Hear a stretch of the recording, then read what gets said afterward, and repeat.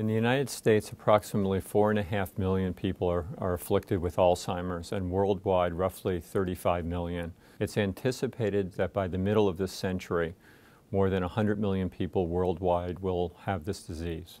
There have been many efforts to develop drugs that were thought to modify the history of Alzheimer's disease, and sadly, all of them have failed. And one of the reasons for this may be that the stage in which they were evaluated, which is in patients who already have the disease, may be the wrong stage. In this study, we sought to find a set of circulating molecules in the blood of individuals who were cognitively normal that would allow us to predict who in the next several years will develop cognitive impairment or Alzheimer's disease.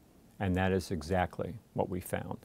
This is a very exciting time. This observation that we are reporting suggests that we may be able to use this diagnostic to enroll subjects to test for the first time whether disease-modifying therapies in those at risk, not those who already have the disease, might be able to delay or perhaps abrogate that group of individuals from developing Alzheimer's disease.